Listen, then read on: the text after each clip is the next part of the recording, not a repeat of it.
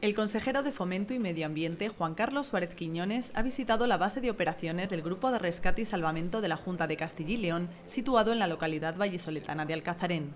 El Grupo de Rescate y Salvamento, o GRS, se creó en 2006 ante el aumento de actividades deportivas y recreativas en la comunidad, que derivaron a su vez en un incremento del número de incidentes en zonas de difícil acceso. Este servicio está operativo los 365 días del año desde que el sol sale hasta que anochece. Las tres características que yo destacaría, destacaría de, este, grupo es una, eh, tenemos un eh, helicóptero muy idóneo y muy apto para la orografía de Castilla y León. Es un helicóptero monoturbina, un helicóptero más ligero, pero que tiene una capacidad de ascenso superior y que permite subir a cotas que un helicóptero biturbina, que suelen ser más grandes y que, bueno, pues eh, no permiten determinadas altitudes, este helicóptero está perfectamente eh, adaptado a poder subir a los picos, que hay muchos importantes y relevantes en Castilla y León. En segundo lugar, es un helicóptero que tiene una grúa, como ven, una grúa que permite eh, que los rescatadores puedan bajar eh, por grúa, incluso que la camilla puede ser izada por grúa y por tanto no necesita un contacto con tierra para producir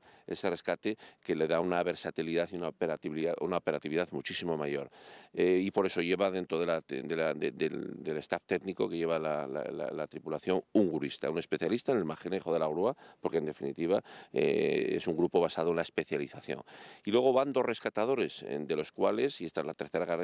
característica, uno de ellos es un graduado en enfermería, que es una característica especial, que permite que realice la actividad de rescate, pero también dar las primeras atenciones médicas bien propias o bien seguidas de las situaciones de un facultativo a través de los sistemas de comunicación. Y permite pues, estabilizar a un enfermo, permite eh, dar esos primeros auxilios eh, mientras el, el, izado del enfermo se produce y la llegada al punto de conexión coordinado con un eh, medio del SACIL, bien sea el helicóptero del SACIL, que no puede alcanzar esas cotas de altura eh, precisamente por sus características, pero que puede estar en un lugar adecuado, coordinado y determinado donde se produce el trasvase ya a ese helicóptero medicalizado, o bien a una unidad de soporte básico o a una unidad medicalizada del, del, del SACIL.